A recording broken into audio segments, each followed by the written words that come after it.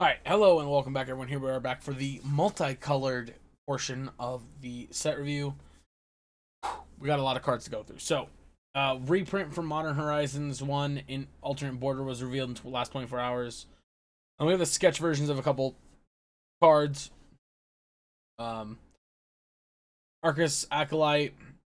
This is pretty cool, giving all of our other creatures uh,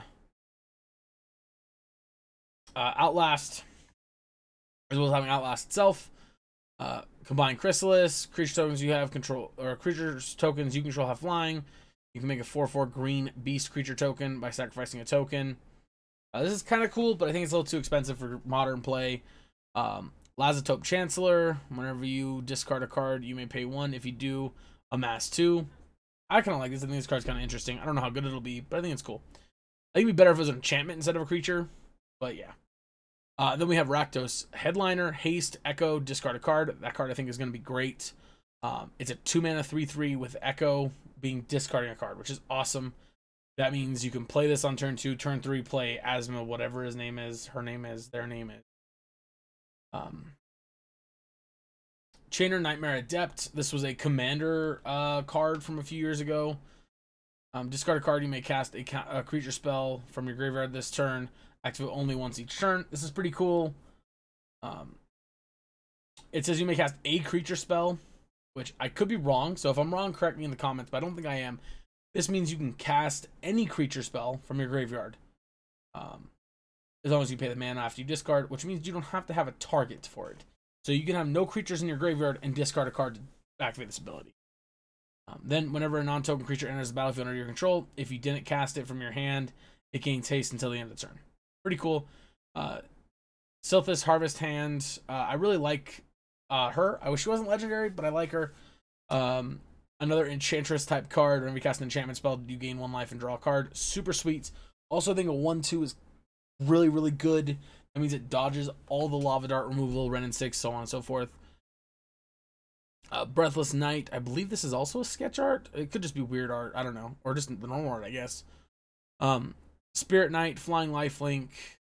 Another creature enters the battlefield under your control. That creature enters from a graveyard, or you cast it from a graveyard, put a plus one plus counter on this creature. Uh, kind of meh. All right, let's get to the cards that everyone wants to hear about. The cards I think are super awesome. Um, so our planeswalkers to start with. Dakkon Shadowslayer. Dakkon uh, enters the battlefield with a number of loyalty counters on him, equal to the number of lands you control. Surveil 2, exile target creature for minus three, uh, plus one surveil too, sorry. Minus three exile target creature. And then ultimate, minus six, you may put an artifact card from your hand or graveyard onto the battlefield. I think this card's pretty cool. Um, the surveil isn't bad, especially you play him on turn three, he automatically goes up to four. Um, you play him on turn three, you also can just have a three mana exile creature, which is kind of eh. I don't think that's very good, but you know, Play on turn four, comes down, immediately goes to one after that. It's still gonna activation. I don't think this card's bad. I don't know if it's gonna see play in any serious deck, but I think it's kind of cool. Garth One Eyed, this card I think is pretty cool flavor wise, and I think it's just a fun card. I don't think it's gonna be that good or much play. Uh, it's a five mana WUBRG spell. Tap, choose a card name that hasn't been chosen from among Disenchants, Braingeyser, Terror, Shivan Dragon, Regrowth, and Black Lotus. Create a copy of the card with the chosen name. You may cast the copy. You still pay its mana cost. This is pretty cool. Um, notably, you can make a token copy of Black Lotus to put in your hand, or basically not put in your hand. Um, but but you get a cast. I think that's pretty cool. But yeah. Uh, anyway, then we have uh, Geyadrone Dihada, a Grixis Planeswalker, four mana, four comes down four loyalty. Protection from permanents with corruption counters on it. Plus one, each opponent loses two life. You gain two life. Put a corruption counter on up to one to other on one other target creature or planeswalker. That's pretty cool that you can put it on a planeswalker. That means uh plus to being able to put it on a creature helps her to protect herself further. Plus she goes up to five loyalty, which can be pretty difficult to take down in one turn without lightning bolts. Uh, gain control of target creature or planeswalker until the end of turn. Untap it. Put a corruption counter on it. It gains haste until the end of turn. Uh, so that's pretty cool as a minus three. And then minus seven, gain control of each permanent with a corruption counter on it. Uh, that's a pretty cool steal every, your opponent's board. I really like it. I'm super down with that ability. Um, overall, I think it's a pretty fun Grixis Planeswalker. I definitely want to play some matches with it. Try it out. Have some fun with it. Uh, and then the Planeswalker I'm most looking forward, Grist the Hunger Tide. As long as Grist the Hunger Tide isn't on the battlefield, it's a 1-1 insect creature in addition to its other types. Meaning it is a legendary Planeswalker creature uh, Grist. Plus one, create a 1-1 black and green insect creature token. Then mill a card. If you mill an insect, uh, this way you put a loyalty counter on it. Minus two, sacrifice a creature. Um, when you do, destroy target creature or planeswalker. So that's super sweet and come down immediately. Sacrifice another creature and kill a planeswalker. Uh, or just a creature, and then minus five, each opponent loses life equal to the number of creature cards in all or in your graveyard. I don't think that part so much is going to be so awesome, but I still think the fact that you can get this card with Collect Company, you can get this card with Eladamri's Call to search it out, Chord of Calling, I mean, Green Sun if it was legal in Modern, all these things allow you to grist, and I think that's super sweet. Um, then Mirari's Wake, creatures can go get plus one plus plus plus one plus one whenever you tap a land. Mana, add one mana of any type of land uh, that land can produce. Pretty cool, but I don't think it's gonna be that big of a deal. Carth the Lion, uh, when it enters the battlefield, or a planeswalker you control dies, look at top seven cards of your library. You may reveal a planeswalker card from among them and put it into your hand. Put the rest on the bottom of your library in a random order. Planeswalker loyalty abilities you activate cost an additional mi- or an additional minus one to activate. It's pretty cool. I like the searching up planeswalkers part. Plus, as a four mana three five, I think it's got a decent body. I don't think it's gonna be good, but I'll still probably try and play it just for some fun. Uh, Fire Ice, Fire of course deals two damage, up to uh, two targets. Ice, you tap something, draw a card. General Ferrous Rokiric. This card I'm really excited for. Hexproof from monocolored, which is pretty cool because most of the removals in the format are monocolored. Bolt can't kill it. Push can't kill it. Path can't kill it. Um, you have to have something like Lightning Helix. On Thin Ice can't kill it. Um, yeah. So much of the format cannot kill this card. Whenever you cast a multicolored spell, create a 4-4 red and white golem artifact creature token. Note, this is whenever you cast a multicolored spell. Not the first multicolored spell the turn you cast. Whenever. Super excited for that card. I can't wait to play it. Um, then we have uh, Lonis Cryptozoologist. Cryptozoologist. Whenever another non-token creature enters the battlefield under your control, investigate, sacrifice X clues, target opponent reveals the top X cards of their library. You may put a non-land permanent card with converted mana cost X or less from among them onto the battlefield. Under your control, that player puts the rest of them on the bottom of their library in a random order. Um, this card's kind of cool. I don't think it's going to do much in standard, though. Or, not standard, in modern. Master of Death enters battlefield, surveils 2 at the beginning of your upkeep. If Master of Death is in your graveyard, you may pay 1 life if you do return it to your hand. Uh, I like this card as a potential discard outlet and a recursive card. In general, I really like it. I don't think it's going to be that great, but I think it's a cool card. Um, plus Master of Death and constantly coming back to life. Cool flavor. Um, moderation, you can cast you can't cast more than one spell each turn. Whenever you cast a spell, you draw a card. So uh, that means one spell your turn, one spell your opponent's turn. Um, I could see this in some kind of tempo-ish strategy, I guess, maybe, but I don't know. I, I think limiting you to one spell every turn is just a little too restrictive, but we'll see.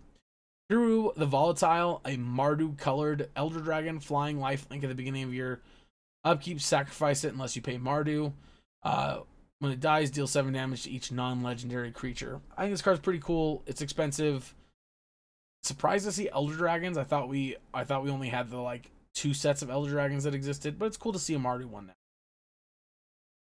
Priests of Fell Rites. Pay three sacrifice or pay three life Sacrifice priests, return target creature card from your graveyard to the battlefield, activate only sorcery. It has Unearth, which is pretty cool. Shardless Agent, of course, uh, Cascade as a 2 2 for a 3 drop. Pretty sweet. Sterling Grove, other enchantments you control have Shroud. Notably, Shroud not hexproof, very important. Means you can't target your own spells either. Uh, pay one, sacrifice it, search your library for an enchantment card, reveal it, and shuffle and put it on top. of your library. Um, I am excited for this card. I think Enchantress is going to be a fun deck. I don't think it's going to be tier one or anything, but I think it's going to be super fun to play. This card really excites me. Um, Territorial Kavu, another card we're going to be definitely playing. This has Domain. And then uh, when it attacks, you get to choose discard a card. If you do, draw a card. Or exile up to one target card from a graveyard. This is pretty cool. I love the incidental graveyard hate. This card is super sweet. I also love the being able to uh, filter through your hand. Uh, this card could be some kind of madness player because of the attack, discarding when you attack, um, as well as also just being an outright good card to play into a deck because you can discard cards you don't want and try and draw deeper into the good cards you care about. Yusri Fortune's Flame. Uh, whenever it attacks, you choose a number between 1 and 5. Flip that many coins. For each flip you win, draw a card. For each flip you lose, deals 2 damage to you. If you win 5 flips this way, you may cast spells from your hand this turn without paying their mana cost. So, pretty sweet. If you hit 5 head, if you win 5 tosses, um, you get Omniscience for a turn. If you miss, though, you deal yourself a bunch of damage. Interesting, cool, flavorful card for fun. Yeah. Arcbound Shikari, first strike. Uh, when it enters the battlefield, put a plus one plus counter on each other artifact creature you control. Modular 2. Currently, right now, the Hardened Scales deck in Modern is green, black, or at least it was the last time I saw it. Um, interesting to see if there's a world where we are not playing green anymore. Um, I think Hardened Scales might be too important not to play. So maybe if this card is worth something people might want, maybe maybe we play it as a um, um, Naya deck. I could see that. Um, although I don't know if this card just fits in with any of the cards we already have. I don't know. Um, and then so next up we have Ethersworn Sphinx. This card is pretty cool. I do actually like this card quite a bit. Um, it is a nine mana artifacts for affinities flying cascade 4 4 um could be pretty cheap. Definitely could be a card that we play in some kind of urza variant. Um but yeah pretty interesting card. Graceful restoration choose one. Return target creature card from a graveyard to the battlefield with an additional plus one plus counter on it or uh, return up to two target creature cards with power two or less from your graveyard to the battlefield uh, so interesting reanimate spell for five mana here. I kind of like it. At the same time, um, I think this could just be another cool Lurrus card. We'll see. Uh, we already saw Lazotep Chancellor. And most of the rest of these are, other than Vindicator, just kind of meh.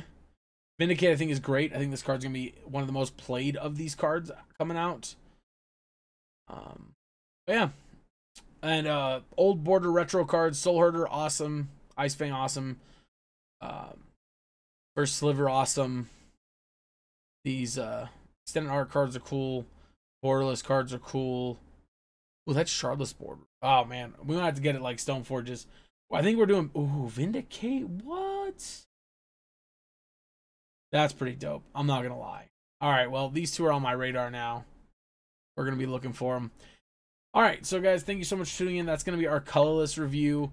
Um, again, like I said, Setlist isn't necessarily all the way out yet, I don't believe, but I just need to get these done as soon as I could. Thank you guys so much for tuning in. I know I'm a little long winded. Um, I hope you guys enjoyed the video. If you did hit that like button, if you want to see more videos like this, go ahead and hit the subscribe button. Thank you so much for tuning in, and I'll catch you guys in the next video.